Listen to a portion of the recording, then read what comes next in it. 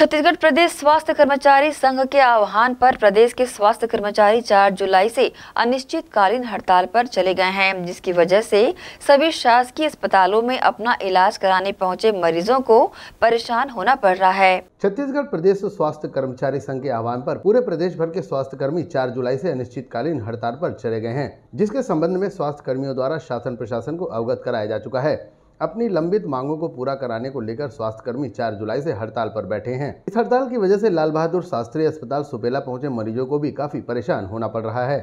शास्त्रीय अस्पताल सुपेला के स्वास्थ्य कर्मी भी हड़ताल पर डटे हुए हैं, जिसकी वजह से स्वास्थ्य सेवाएँ बेहद प्रभावित हो रही हैं।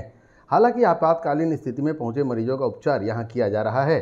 अनिश्चितकालीन हड़ताल को लेकर लाल बहादुर शास्त्री शासकीय अस्पताल के प्रभारी डॉक्टर स्वामीदेव भूपेंद्र ने बताया कि छत्तीसगढ़ प्रदेश स्वास्थ्य कर्मचारी संघ द्वारा हड़ताल को लेकर शासन को अवगत कराया जा चुका है। स्वास्थ्य कर्मियों की पुरानी लंबित मांगे हैं, जिसे पूरा करने को लेकर अनिश्चितकालीन हड़ताल की जा रही है।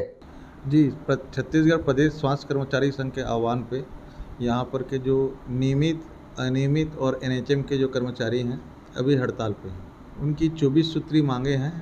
प्रमुख मांगों में जो है उनका वेतन का जो सुधार है, अनियमित कर्मचारियों की नियमितीकरण है साथ में स्वास्थ्य विभाग के कर्मचारी ट्वेंटी फोर इंटू सेवन जो है कार्य करते हैं तो पुलिस विभाग की तरह तेरह महीने की वेतन की मांग है। इस बारे में तो शासन स्तर के अधिकारी ही बता पाएँगे, लेकिन कर्मचारी द्वारा अपने स्तर पे पहले पहल किए थे, मांग पूरी नहीं होने पे, वो लोग अभी अनिश्चितकालीन हड़ताल पे हैं। स्वास्थ्य कर्मचारियों ने शासन प्रशासन को अपनी 20 सूत्री मांगों का मांग पत्र सौंपा है और कहा है कि जब तक यह मांगे पूरी नहीं हो जाती, तब तक स्वास्थ्य सेवाएँ ठप रहेंगी।